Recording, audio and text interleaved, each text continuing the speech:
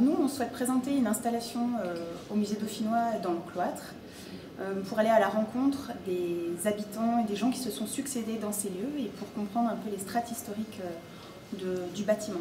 Et on souhaite que ce soit des rencontres furtives, un peu fantomatiques, pour euh, découvrir justement à la fois euh, l'histoire ancienne du couvent, mais aussi euh, l'occupation pendant la guerre et par la, suite au XXe siècle par, par, des immigrés italiens.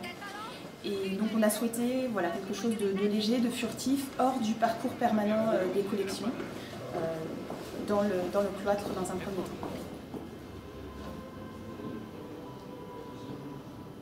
Eh bien, eh bien, Justine Gabrielle de Magalon, encore en retard pour la prière même postulante, vous devez respecter le coutumier.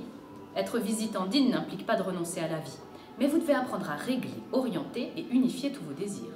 Il vous faut abandonner tout ce qui est superflu et superficiel pour trouver la vie en plénitude, la joie parfaite, l'amour total. Et troquez-moi cet accoutrement outrancier pour un habit honnête et modeste, sans frisure, dentelle ni cornette.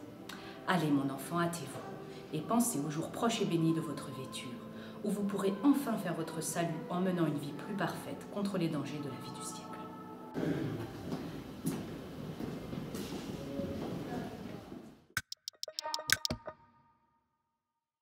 On a décidé de faire une installation qui soit aléatoire, c'est-à-dire qu'on c'est pas une obligation, ça fait pas partie d'un parcours. C'est euh, l'idée qu'en déambulant dans ce lieu, on se retrouve tout à coup euh, comme ça, confronté euh, aux personnes qui ont habité les lieux. Donc c'est vraiment quelque chose de, on va dire, de, léger, de furtif, de, surprenant parfois, et qui n'a rien, rien de systématique et qui est donc complètement aléatoire.